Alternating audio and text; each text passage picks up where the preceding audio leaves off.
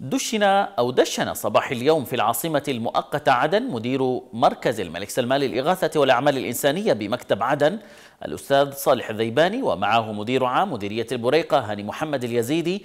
تم تدشين مشروع توزيع التمور البالغ كميتها 882 طنا لمناطق الساحل الغربي بمحافظات عدن ولحج وتعز بالإضافة إلى محافظات صنعاء ومأرب والجوف. والذي ينفذه ائتلاف الخير للإغاثة الإنسانية وبتمويل من مركز الملك سلمان للإغاثة والأعمال الإنسانية.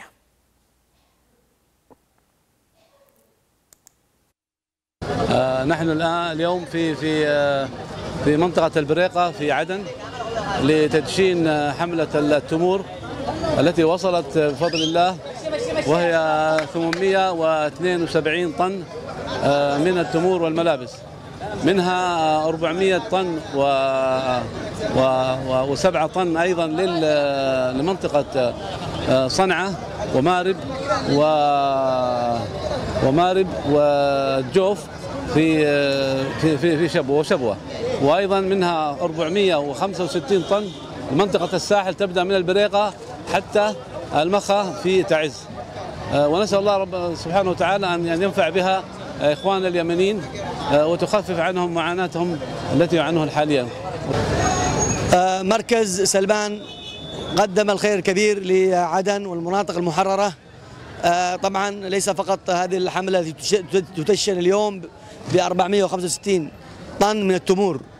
إنما هذه بدايات خير إن شاء الله قادمة تتبعها إغاثات وعمل إنساني عظيم.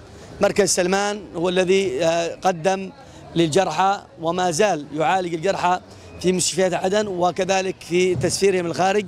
مركز سلمان الذي بدأ مع تحرير أول الأولويات في عدن بالدعم بالإغاثة الكبيرة والسفينة المعروفة التي قدمت. أضف أن التركيز في هذه الحملة على المناطق التي على الجبهات مناطق البحر والساحل التي تواجه الآن العدوان الحوثي العفاشي تبدأ هذه الحملة من مديرية البريقة وهي أجزاء من عدن ثم تعم إلى مناطق أخرى من تعز بل مندب المقا وقد تصل إلى الحديدة وفق الله العاملين للخير والباذلين والمحسنين الذين وصلوا